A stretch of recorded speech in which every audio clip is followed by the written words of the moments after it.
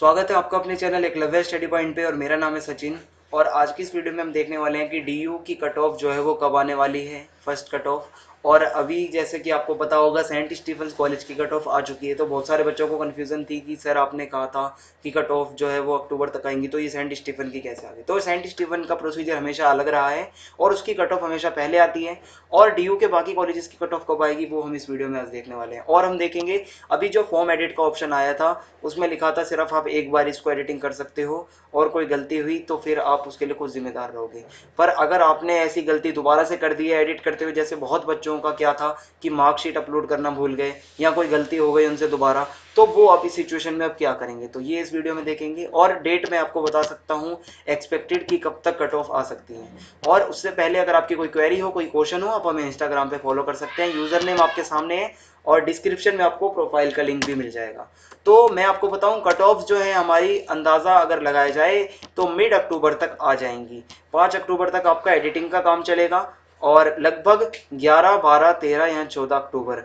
इसमें आपकी cut off पहले आ जाएगी और ये श्योर है एकदम और इसके बाद अब डेट एक्सटेंड नहीं होगी। 11, 12, 13, 14 तारीख के बीच में आपकी कट ऑफ़ आ जाएँगी जब तक ऐसा मतलब मतलब ऐसा एक्सपेक्ट किया जा सकता है ठीक है? और बात की जाए अगर आपने कोई गलती कर दी है फॉर्म एडिटिंग में दोबारा से जो अभी एडिट का ऑप्शन आया था उसमें दोबारा गलती कर दी तो आपकी हेल्प हो सकती है कैसे? एक आपको मैं मेल आईडी दे रहा हूँ मेल एड्रेस जो कि है undergraduate twenty twenty at the rate admission dot D U dot A C dot in ये ईमेल आईडी पे आपको अपनी एक एप्लीकेशन लिखनी है मेल करनी है, अपनी प्रॉब्लम अगर मान लो आपने दोबारा से अगर आपको मार्कशीट अपलोड करनी है, अपनी आप भूल गए थे या सेल्फ टेस्ट करना भूल गए थे, आपने डाल दी अपलोड कर दी तो अगर कोई भी ऐसी गलती अगर आपसे हुई है जल्दबाजी में तो आप यहाँ पर अपनी समस्या को मेल करना। आपको हो सकता है एक दिन में या दो दिन के अंदर इस यहाँ से वेबसाइट से ईमेल से रिप्लाई आ जाए और आपको वापस से ऑप्शन मिल जाएगा आपका फॉर्म को एडिट करने का। तो ये आपके लिए सॉल्यूशन भी बताना था। और साथ के साथ मैंने आपको कट ऑफ़ का भी एक एक्सपेक्टेड आइडिया बता दिया है कि अक्टूबर मिड तक क्योंकि आपको पता है पाँच अक्टूबर तक तो सिर्फ़ एडिटिंग चलेगी। पाँच के बाद कम से कम वो डीयू वाले जब उसको वेरीफाई करेंगे तो पाँच से सात दिन उन्हें भी चाहिए।